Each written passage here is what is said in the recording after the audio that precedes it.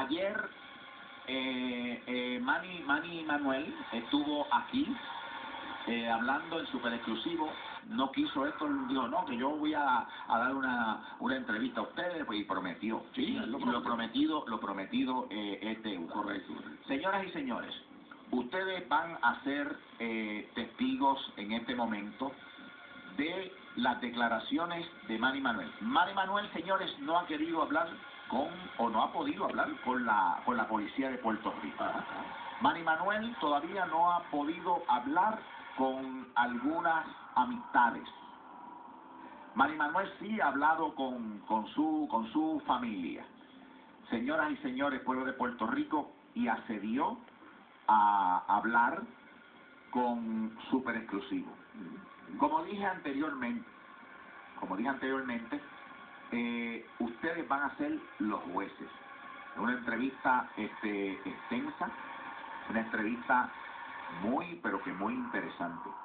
Antes de que esté el, el video, yo quiero hacer una, una preguntita. Esto, quiero hacer una, una, una pregunta. Eh, quiero hacerle esta pregunta, señoras y señores, a nuestro gran amigo, ex jefe del FBI, Luis Fraticelli, también al honorable Gabriel Rodríguez Aguiló, vicepresidente de la Cámara de Representantes, y al honorable representante a la Cámara, don Eric Correa. A ellos tres quiero hacerle la siguiente pregunta. ¿Qué hacían? Y si son tan amables y me ponen la foto, muy bien, listen to me. Señoras y señores, yo quiero preguntarle a ellos tres, ¿qué hacían hoy reunidos los tres, ok, en este restaurante Rocadura en Orocovis? Solamente estoy preguntando qué hacía don Luis Fraticelli, el honorable Eric Correa y el honorable vicepresidente de la Cámara de Representantes, don Gabriel Rodríguez Aguiló. O sea, los tres reunidos. Los tres reunidos estos en el restaurante Rocadura en Orocovis. Allá. Mira, ¿qué, qué, qué, qué, qué, qué, qué- qué cosa oye, en? Que, que no pudieron ir a la casita blanca, sino Exactamente, exactamente. Espero la contestación. Ok, ok. Señoras y señores, sin más preámbulos, vean, escuchen, sean ustedes testigos de las declaraciones de Manny Manuel. ¿Cómo estás, Manuel? Estamos bien, saludos a todos. Aquí estoy, como le dije a ya señorita, estamos aquí pues realmente por las personas que, que me quieren bien. Yo soy muy claro, estoy aquí por, por los fanáticos, por los que dieron rodillas, por la gente que está interesada, por bien, por lo que sea, para decir mi verdad, que es la que realmente es la verdad, ¿no? De, de todo lo que está sucediendo. Yo estoy viendo eh, algunas laceraciones, ¿verdad? Y te cojo las manos con mucho respeto, eh, que tienes, Manuel, eh, igual en el rostro, no sé si puedas eh, retirarte los espejuelos para que la gente te vea. Yo creo que así está bien. eh, sí, acá tengo una contusión. No fue una pela, ¿eh? se está diciendo que fue una pela. Primero que yo tampoco soy manco, para que me den una pela. Sí, hay una, hay una realidad que me gustaría ser justa y voy a insistir. Eh, lo que vi, eh, pues aparente ser como si alguien se, se, se da contra una brea, ¿no? Hay una, perdón, perdón, pero hay una cortadura en el área de la nariz que, pues no sé, parece como si alguien se, se da con una pared, no, no son uñas. Pues todo este lado izquierdo, realmente yo caigo. ¡Páralo ahí! ¡Páralo! Dale para atrás, dale para atrás, dale para atrás. Dale para atrás, dale para atrás, dale para atrás, sigue para atrás, sigue para atrás, sigue para atrás, sigue para atrás, sigue para atrás. Páralo ahí, páralo, páralo ahí, páralo ahí. Señoras y señores, pueblo de Puerto Rico. Wow, vean un momentito. Yo quiero, yo quiero, Héctor, que todo el mundo vea Claro. las heridas de Manny Manuel. Claro que sí. Para ver, a ver, vamos, vamos, vamos, a- vamos a verla. Arriba. Adelante, Silvia. una realidad que me gustaría ser justa y voy a insistir. Eh, lo que vi, eh, pues aparente ser como si alguien se, se, se da contra una brea, ¿no? Hay una, perdón, perdón, pero hay una cortadura en el área de la nariz que, pues no sé, parece como si alguien se, se da con una pared, no, no son uñas. Todo, todo este lado izquierdo, realmente yo caigo del lado izquierdo. y voy rodando según me dicen los médicos, que conste. Voy rodando, entonces, pues todo indica ser que caí del lado izquierdo y es contra el pavimento. ¿En qué momento tú, en, o sea, esa noche, qué tú estabas haciendo? Yo, eh, como te dije, estaba haciendo diligencia durante toda la tarde, luego fui con unos amigos por Santurce a, a compartir, no te voy a negar que sí me di algunos tragos socialmente, Chaga, ¿Estabas a pie? yo, yo es que yo camino a pie por San Juan, yo salí porque pues ya era hora de irme a casa, y después de ahí, ¿Recuerdas la hora en que te fuiste del lugar en el que no estabas? te puedo decir la hora, no recuerdo la hora, luego de que salgo de ahí, entonces me veo con los ojos abiertos en una sala de emergencia, ¿qué pasó? ¿Qué sucedió? ¿Cómo? ¿Cuándo? ¿Dónde? ¿Cómo? No, no, te voy a ser sincero. No porque no quiera hablarlo, es que no, no recuerdo. Yo le pregunto a los médicos, ¿por qué? Yo quisiera recordar muchas cosas, ¿por qué no recuerdo? Hay veces que según los traumas que recibí, quizás al momento de caer en el pavimento, en la cabeza, eso pues eh, su- suele suceder. Yo quiero mostrarte unas fotos eh, que yo creo que las has visto bastante, eh, que son las fotos que alguien eh, con un celular o, o una cámara de televisión, eh, ¿qué recuerdas tú de eso? Eh, te voy a decir, yo lo vi en YouTube porque decidí verlo. Por eso mismo, porque yo quería verlo para ver si tenía alguna luz de lo que sucedió esa noche. Yo veo el video de YouTube y lo vuelvo a ver.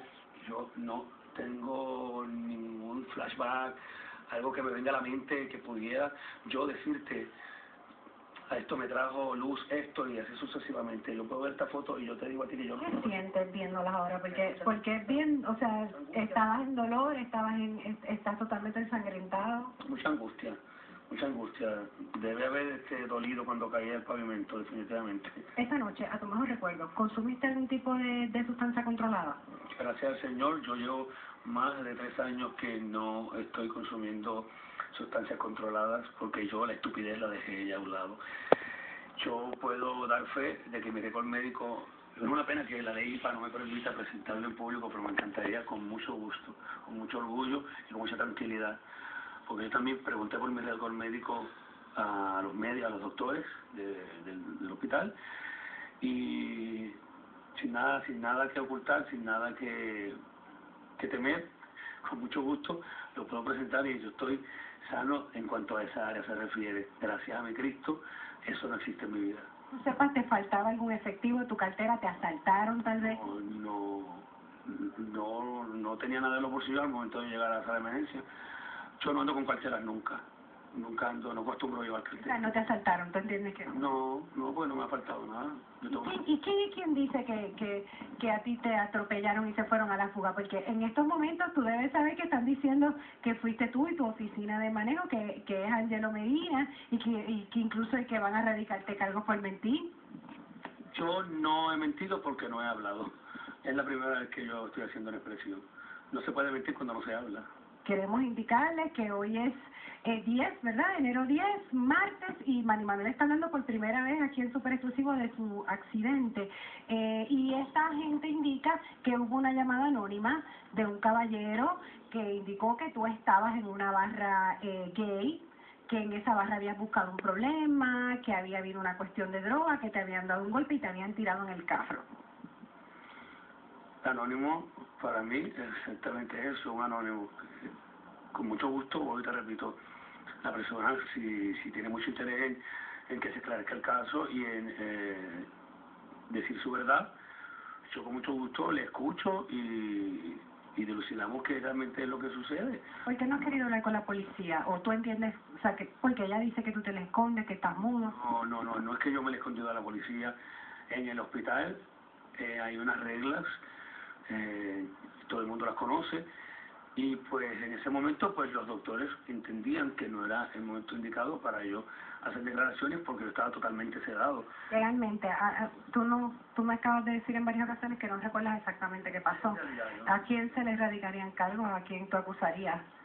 Yo estoy en la posición de, de, de buscar culpables. Yo estoy dándole gracias a mi Cristo que me dio una oportunidad de vida. Es lo que a mí me importa en estos momentos. Se ha vuelto a sacar eh, los issues, por eso te pregunto, los issues de droga.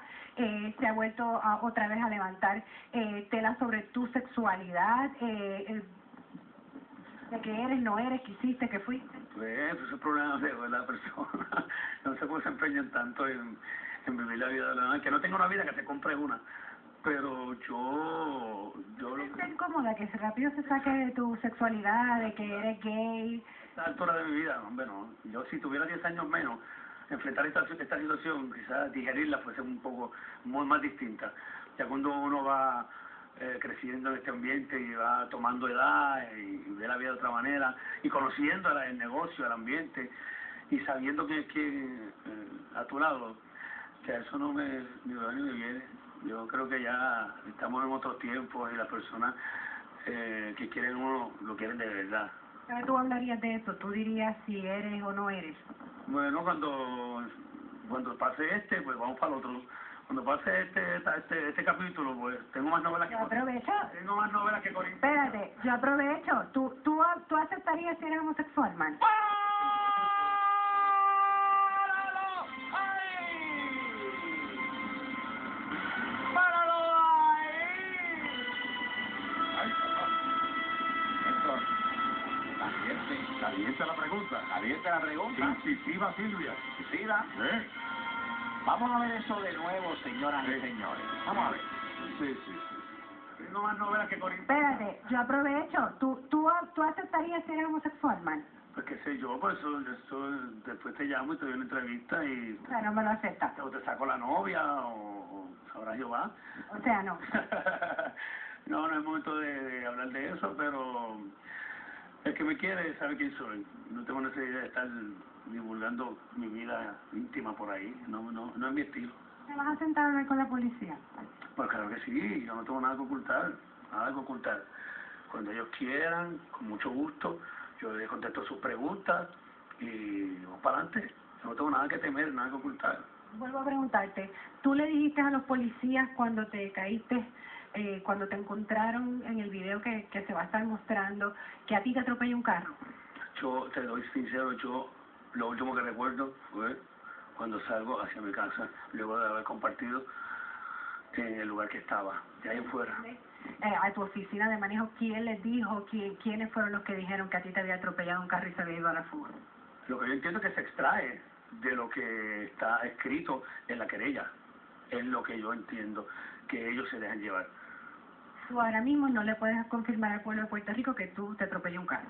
Yo no puedo confirmarle porque yo no recuerdo, como te digo, por más que me pueda decir, pero sí, pero algo no. Los amigos que estaban contigo no te han llamado, no te han contado si te dieron una pela. Yo recuerdo que yo salí solo del lugar caminando hacia mi casa porque ya era hora de irme a a mi casa. Ya era ca- cayendo la noche y no quería estar en la calle. Ya, y me fui para mi casa y de ahí, tan tan, abro los ojos, una de emergencia. ¿Tú recuerdas si te dieron una pela, man? Bueno, yo no soy manco. De que me dieron una pela, no creo, porque manco no soy. Y yo me tuve que haber defendido. Pero yo no creo porque según yo pregunté, o yo pregunté a los médicos, ¿qué ustedes que entienden de esto? Si fueron golpes por una persona o algo.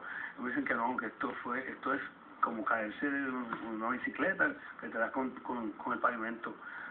No, no, ellos, ellos entienden que no. Ellos, según los médicos, ¿no? Ellos entienden que no.